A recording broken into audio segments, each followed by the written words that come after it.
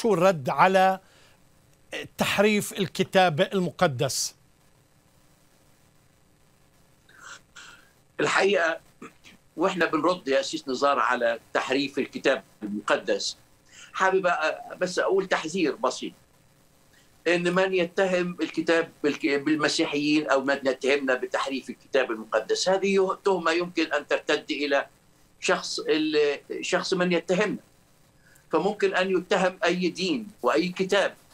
إذا جاز اتهام الكتاب المقدس بأن إحنا حرفناه فهذه تهمة يمكن أن تقدم لأي دين آخر لأي كتاب آخر.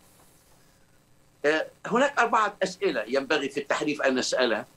متى تم التحريف؟ السيس رضا بس في شخص بعت الأخ محمد هو يعني عابر للمسيح قال هل الله كان ضعيفا غير قادر على حفظ كتبه الأولى وكلامه ثم فجأة استرد قوته بعد ذلك فحفظ كتابهم؟ وبعدين كيف تم الاتفاق على تحريف الكتاب خلال 1600 سنة يعني خلال فترة كتابة الوحي؟ تفضل الاسيس رضا. فعلا فعلا. ما ده اللي أنا بقوله إن النهارده إذا كنت تتهمني بالتحريف أو أو, أو بتغيير الكتاب. فممكن ممكن ممكن غيري كمان يتهمك بنفس الأمر. وكمان يبقى النهارده إزاي ربنا قادر إنه يحفظ كلمه كلمة في حتة ولا يحفظها في حتة ثانية وإزاي إن له لحافظون؟ إزاي يعني؟ علينا إحنا نسأل متى تم التحريف؟ هل تم التحريف؟ قبل القرآن مثلا. وإذا كان تم قبل القرآن كان كنا نتوقع أن القرآن يكشف هذا التحريف. لو بعد بعد القرآن اذا كان هناك في 700 سنة. 700 سنة كان في هناك مئات النسخ التي وصلت آلاف النسخ التي وصلت وآلاف الترج... وعشرات الترجمات التي ترجمت. ولو عندي فرصة هتكلم عن الحكاية دي. يبقى بالتالي متى تم التحريف؟ من قام بالتحريف؟ من قام بالتحريف؟ ده السؤال الثاني لو إن اليهود حرفوا العهد القديم كان المسيحيين هي... هيفضحوهم. لو إنه المسيحيين حرفوا العهد القديم كان اليهود هيفضحوهم. لو إنه اليهود حرفوا العهد الجديد كان المسيحيين هيفضحوهم. ولو غيرهم حرف في الكتاب المقدس كان اليهود والمسيحيين كانوا هيفضحوهم بالتالي وكانوا هيهاجموهم. من الذي قام بالتحريف؟ ثم ما هي الأجزاء المحرفة؟ أنا أضع تحدي بالفعل. ما هي الأجزاء المحرفة؟ وبالتالي السؤال الأخير هو ما هي النسخة أو أين هي النسخة الأصلية؟ النسخة التي لم تحرف وإذا كانت هذه النسخة أخفيت أخفيت متى؟ ولماذا لم يتحدث عنها الذين يتحدثون عن تحريف الكتاب المقدس؟ لماذا لم لما نتهم بها سوى في هذه ال ال ال ال السنوات الأخيرة فيما يختص بال ثم أن هناك الترجمة السبعينية. الترجمة السبعينية هي ترجمة العهد القديم من اللغة العبرانية إلى اللغة اليونانية. تم سنة 250 قبل الميلاد. سمع من فضلك 250 قبل الميلاد.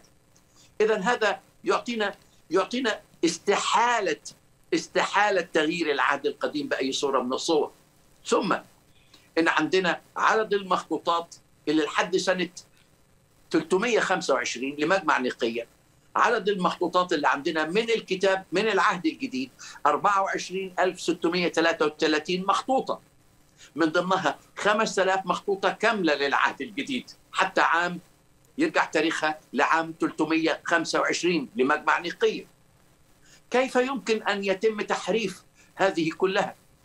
ثم كيف يمكن أن يتم تحريف الترجمات المختلفة للكتاب المقدس؟ الترجمة السريانية تمت ما بين سنة 150 ل 250 الترجمة القبطية تمت ما بين سنة 200 إلى سنة 300 الترجمة اللاتينية تمت ما بين سنة 300 وسنة 400 جيروم عمل ترجمة الفولجاتا سنة 382 وكلمة فولجاتا جت منها كلمة folklore يعني شعبي سنة 382 عندنا منها 8000 نسخة. عندنا 9000 نسخة من الترجمات القديمة حتى عام 325 والنهارده الكتاب المقدس مترجم إلى 2200 لغة ولهجة أو أجزاء منه. كيف يمكن اذا أن يحرف حرف واحد بأي صورة من الصور؟ وعندنا كل هذا الزخم. عندنا الاقتباسات اللي تمت حتى سنة 325 مجمع نيقيه الاقتباسات من العهد من الكتاب المقدس. 36280 اقتباس اقتبسها الآباء في كتاباتهم المختلفة. كيف يمكن؟ كيف يمكن أن يحرف الكتاب؟ المؤمنين الأوائل اتبعوا النظام العبراني النظام اليهودي في قراءة النص الكتابي وقسموا العهد الجديد إلى 1797 جزء. وكانت الكنيسة بتقرأ هذه الأجزاء بانتظام. كيف يمكن أن يحرف الكتاب المقدس؟ ثم إن المجامع المسكونية صدقت على الكتب المقدسة. مجمع نيقية 325 مجمع القسطنطينية 381 مجمع خلقدونية 451 ورغم اختلاف المسيحيين مثلا في مجمع خلقدونية إلا أنهم لم يختلفوا على الكتاب المقدس بأي صورة من الصور. أمين. لو إننا حرفنا الكتاب المقدس لماذا لم نحذف سقطات الأبطال؟ لماذا لم نحذف مثلا زنا داوود وقتل داوود؟ لماذا لم نحذف هزيمة شعب إسرائيل أكثر من مرة؟ لماذا لم نحذف أخبار السبي البابلي والسبي الأشوري وإنكار بطرس وهرب التلاميذ ومقاومة بولس لبطرس وخطايا الكنائس التي نقرأ عنها في سفر الرؤيا في أصحاح اثنين وأصحاح ثلاثة من سفر الرؤيا أنا شخصيا عايز أقول لو أنه في في هناك تحريف لكنا حرقنا النسخ المختلفة من الكتاب المقدس. هناك تباين في قراءات مختلفة في هذه النسخ. لكن هذا العدد الضخم 24633 مخطوطة للعهد الجديد. تجعلنا على يقين إن مهما كان في هناك تباين في حرف أو م. كلمة هنا أو هنا لكننا من خلال هذا الزخم اللي حرصنا عليه. لم نحرق هذه النسخ بأي نعم. صورة من الصور ولذلك نحن نستطيع أن نمسك بالكتاب المقدس ونقول هذه كلمة الله بالفعل.